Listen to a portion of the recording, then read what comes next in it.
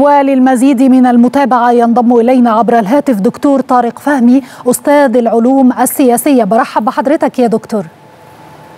أهلا وسهلا بحضرتك. تفضلي أهلا بحضرتك دكتور طارق. يعني ونحن نتحدث عن القضية الفلسطينية. اذا يبرز هنا الدور المصري في مساعدة الأشقاء الفلسطينيين منذ اللحظة الأولى الحقيقة. يعني كيف ترى هذا الدور مع الجهود المبذولة من أجل يعني ايجاد هدنه تبادل المحتجزين والأسرى؟ هو كما تعلمي التحرك المصري في التطورات في الحرب على غزة بتشمل مسارات متعددة جزء منه ما هو إنساني مرتبط بإدخال المساعدات إلى قطاع غزة والمساهمة في كل الجهود اللي تمت على المستوى العربي والإقليمي والدولي إضافة للتحرك في إطار ممارسة أكبر قدر من الضغوطات على الإدارة الأمريكية لمراجعة مواقفها تجاه الحكومة الإسرائيلية إضافة طبعا للنقاش والحوار مع الأطراف الأخرى وعلى الأخص طبعا الحكومة الإسرائيلية، تعلمي حضرتك مسار التحرك المصري منضبط ومحدد وفق للمرتكزات التي تعمل عليها القاهرة وهو ضرورة أن يكون هناك اهتمام دولي كبير وإعادة تقديم القضية الفلسطينية في الواجهة الدولية. الجهود المصرية مستمرة في مسارات واتجاهات مختلفة خصوصا في محاولات وقف اطلاق النار وحضرتك تعلم إن هناك انفراد مصري كامل في هذا الإطار سواء كان في مفاوضات الوساطة أو في التحرك لوقف إطلاق النار والضغوطات التي تقوم بها مصر في اتجاه كل الأطراف سواء كان في الجمعية العامة ومجلس الأمن إضافة طبعا لتحركات وتوجهات الدبلوماسية الرئاسية اللي بتبذل مجهودات كبيرة بالإضافة لأجهزة الدولة المعنية، اذا دور مصر ليس دور إنساني فقط إنما هو دور سياسي دور استراتيجي أيضا دور في حماية مقدرات الشعب الفلسطيني. وحضرتك تعلمي إنه الدعوة المصرية في هذا الإطار بتركز على ضرورة التوصل إلى خيار حل الدولتين، القاهرة عرضت خطة ثلاثية المراحل اللي هي بتبدأ بوقف لإطلاق النار وتبادل المحتجزين والأسرى ثم مرور بإجراءات بناء ثقة وصولا إلى الانخراط في تنفيذ فكره خيار حل الدولتين والمرجعيات الدولية الحاكمة للقضية الفلسطينية كما تعلمي واللي هي عطلتها إسرائيل والولايات المتحدة لسنوات طويلة، أعتقد إنه التحرك المصري هو تحرك بيوجه البوصلة نحو إعادة تقديم القضية الفلسطينية للمشهد الدولي بظل تفاعلات كثيرة في هذا التوقيت. وهدف القاهرة ليس فقط وقف إطلاق نار إنما التحرك في اتجاه تنفيذ هذه الاستحقاقات المعطلة. اللي طبعا هي كانت سبب كثيرا في توتر في الإقليم. يعني التوتر حضرتك وحالة عدم الاستقرار في الإقليم مرتبطة بعدم حل القضية الفلسطينية. وبالتالي رؤية القاهرة أو مقاربة القاهرة تركز في هذا الإطار. ضرورة أن التوصل إلى حل حل دولي وتنفيذ مقررات الشرعية الدولية وإعادة بناء الاستحقاقات السياسية المعطلة منذ سنوات طويلة. في فرصة آه الآن بان هناك حالة زخم كبير لكن علينا أن ننتبه لامرين الأمر الأول انه القضية الفلسطينيه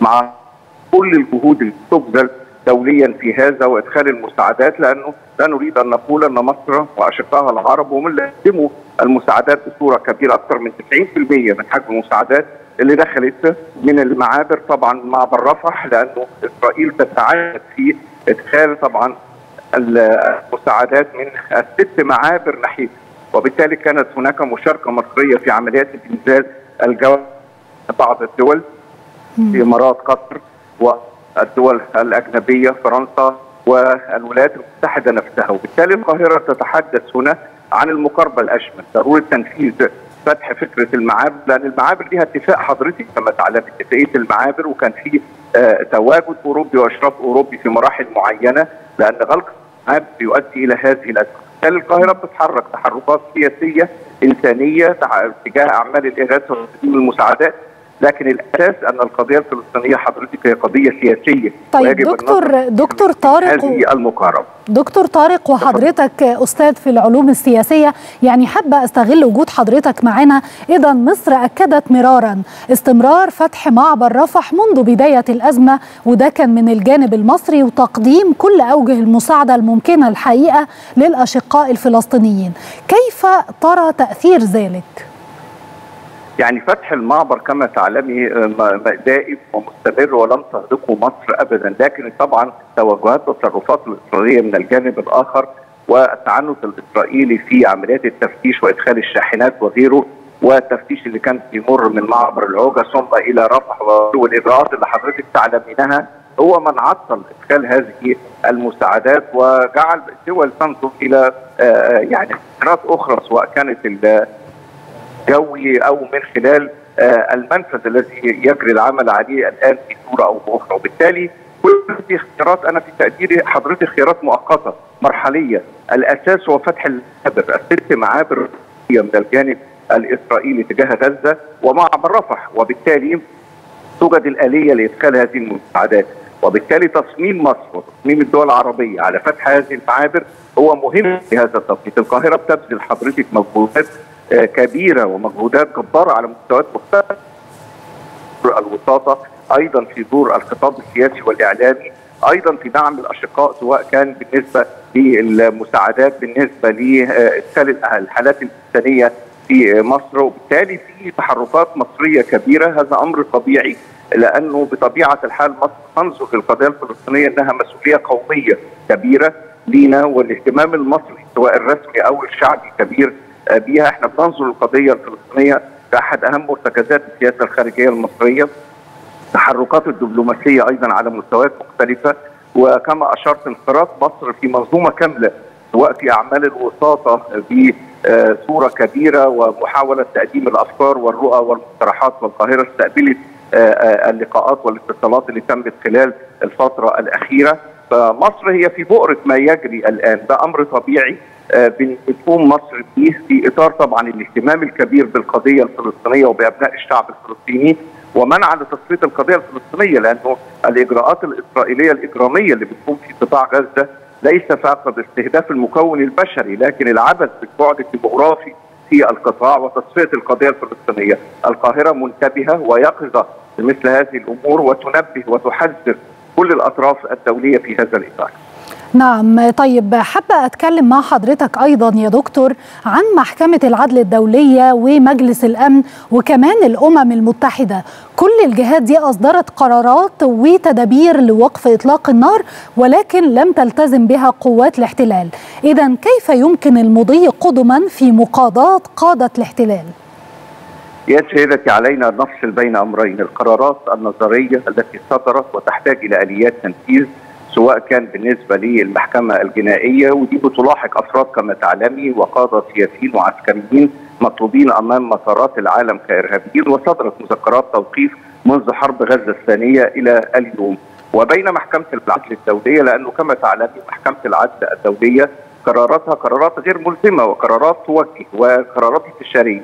الآن نحن نحتاج إلى حملة دولية لنزع شرعية إسرائيل أمام المحاكم الدولية، يعني كفانا الاستغراق في قرارات لم تنفذ، يعني نحن لدينا القرار 2 2 4 2 و 3 3 8 ومبادلة الأرض مقابل السلام والقرار 193 ودي القرارات الحاكمة الثلاث قرارات الرئيسه أو المهمة في هذا الإطار ومبدأ الأرض مقابل السلام. الآن إذا لم تستجب إسرائيل نحن لن ننتظر حكم محكمة العدل لأنه ربما يأخذ فترة طويلة يعني لن يصدر بصورة كبيرة وسيفتقد الآليات أو الأدوات للتنفيذ وغيره كما تعلمي حضرتك. وبالتالي علينا أن نتجه إلى البدائل الأخرى الموجعة لإسرائيل.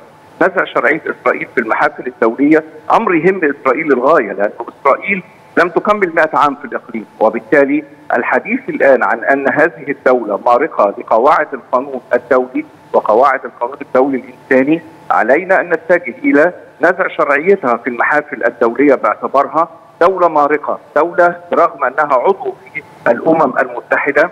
وأذكر حضرتك أن إسرائيل هي الدولة الوحيدة في العالم التي أنشئت بقرار دولي، قرار 181 الصادر لسنه 47 والقاضي بإعلان دولتين على الأرض، دولة يهودية انشئت هي دولة إسرائيل الدولة العبريه والدولة الفلسطينية المفترض أن تنشأ وبالتالي لا يمكن إسرائيل أن تطعن في هذا القرار الذي أنشأه القرار الشهير 181 وبالتالي نزع شرعية إسرائيل في المحافل الدولية أمر مهم للغاية الآن لكي تبقى إسرائيل دولة منبوذة، دولة مارقة، دولة في عزلة دولية لأنه لن تستمر كثيرا الولايات المتحدة والقوى الغربية داعمة لإسرائيل بهذه الصورة، القوى الغربية والولايات المتحدة حضرتك تنظر لاسرائيل ليس فقط لحماية أمنها أو غيره إنما بطبيعة الحال هي داعمة لها.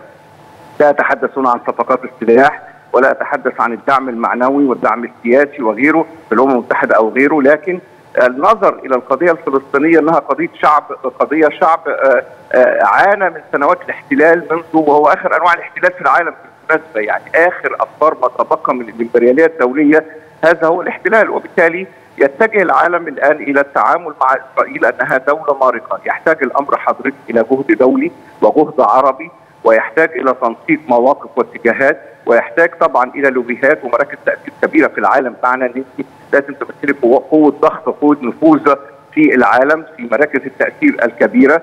والعالم ليس الولايات المتحدة فقط، العالم الآن يعيد النظر في كثير من القضايا ونحن في عالم أصبحنا عالم متعدد الأقطاب، يسمح لحضرتك بمرونة التحرك والتحرك في كل الاتجاهات لتحقيق الأهداف الخاصة ليس بالقضية الفلسطينية ولكن بالقضايا العربية التي أهملها أهملتها الأمم المتحدة ولم يعني تبذل مجهودات كبيرة في حلها. أعتقد إنه تبني حملة لنزع شرعية إسرائيل أولوية أولى في هذا التوقيت وهذا هو ما يزعج إسرائيل بصرف النظر عن يعني ما سوف يصدر من قرارات ربما تصبح طبعا مؤجلة لافتقادها لآليات التنفيذ، أعتقد مهم للغاية أن يتم هذا. طيب دكتور طارق حضرتك دلوقتي تحدثت في نقطتين، تحدثت عن محكمة العدل الدولية والأمم المتحدة، حابه أتكلم مع حضرتك عن قرار مجلس الأمن، هل ترى أن قرار مجلس الأمن بوقف إطلاق النار في غزة أثر يمكن على المفاوضات الجارية بشأن التوصل يعني خلينا نعترف. لهدنة؟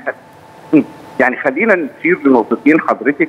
بعيد عن الجدال القانوني والسياسي. القرار صدر تحت الباب السادس والباب السادس غير ملزم وبالتالي ليست القضية أنه ملزم أو غير ملزم لأنه يفتقد أيضا الآليات للتنفيذ أو للتأثير وبالتالي لا نريد أن ندور في حلقة مفرغة. الآن ربط هذا القرار بالإفراج عن الرهائن والمحتجزين وغيره بطبيعة الحال هذه صياغه سياسية يعني الولايات المتحدة حينما امتنعت حضرتك عن تنفيذ استخدام حق النقضه كان مربوط يعني الأمر الرابط هنا أو الرابط الأساسي بين الإفراج عن المحتجزين وغيره. لكن يحتاج الأمر إلى تفعيل القرار إزاي هذا هو الأهم. إما أن يلجأ الأمين العام لاستخدام صلاحياته تحت البند 90 لصلاحيات الأمين العام أو في البند 25 ميثاق المتحده حفاظا على الأمن والسلام الدولي ويتجه إلى احالته إلى الباب السابع، تبدأ مناقشات حول هذا القرار تحت الباب السابع، هذا هو المسار الممكن الاتجاه إليه في هذا التوقيت.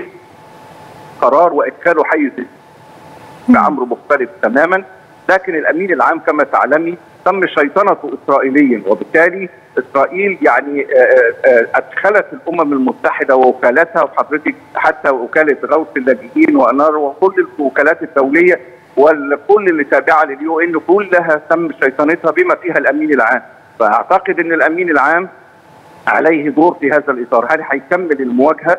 الرجل قام بدوره طبعا وحضرتك زار القاهرة كما تعلمي ووقف أمام معبر رفح في الزيارة الثانية ووجه رسائل إلى العالم هذه كلها أمور رمزية. نحن الآن نحتاج إلى إجراءات نحتاج إلى تدابير نحتاج إلى إجراءات مباشرة لتنفيذ ما يتم إصداره والضغط على إسرائيل. أنا أعتقد إنه مجلس الأمن يستطيع أن يقوم بهذا لكن كما تعلمي مجلس الأمن غابه سياسية كبيرة وصراعات كبرى والقضية ليست في استخدام حق النقد أو عدم استخدامه، القضية مرتبطة حضرتك بترتيب وحسابات ويعني و... أهداف ومصالح للقوى الكبرى. والولايات المتحدة وهي تمتنع عن التصويت تدرك أنها تمسك العصا من المنتصف، لا تريد أن تفقد مصداقيتها الدولية وهي تتحدث عن الإجراءات والتدابير والشراكة مع الدول العربية وتتخوف من رد فعل إسرائيل.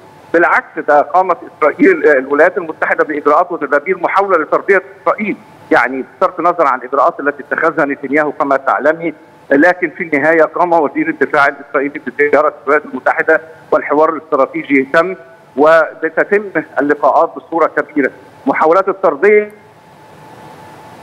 الإعلان عن قائمة تحفيزية لإسرائيل في السلاح الاف 35 الاف 15 المعطلة الذخائر المصروفات كل هذه قائمة إعلان عنها خلال الساعات الأخيرة. إذا نحن بحاجة ل إذا نحن بحاجة يا دكتور للخروج من دائرة الإجراءات إلى دائرة التنفيذ على أرض الواقع. دي أكتر جملة ممكن ننهي بيها يعني لقائي مع حضرتك. أنا بشكرك. الحقيقة جزيل الشكر على كل ما تفضلت به من معلومات. دكتور طارق فهمي أستاذ العلوم السياسية شكرا جزيلا لك.